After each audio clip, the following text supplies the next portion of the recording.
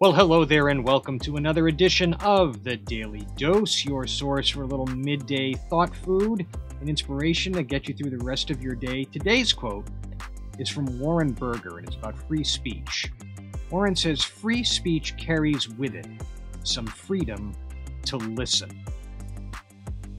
We often hear people falling back on the it's my right to free speech when they are saying something that they believe in, something that they feel, something that they support.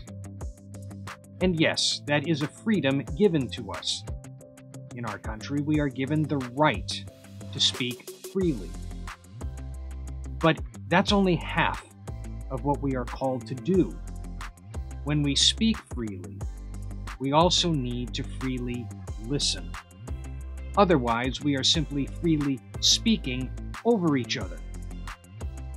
When we are given this freedom to freely speak who we are, what we believe, how we feel, we have an equal responsibility to listen to those thoughts and feelings, to understand them more authentically and deeply, in order that we more deeply and authentically understand each other.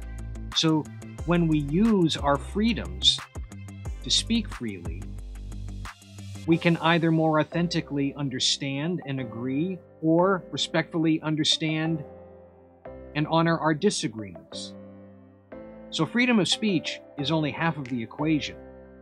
It's also the freedom of listening and understanding.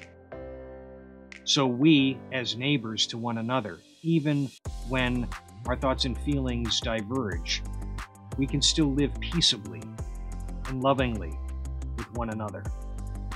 So freely speak, but also freely listen. And I will see you tomorrow.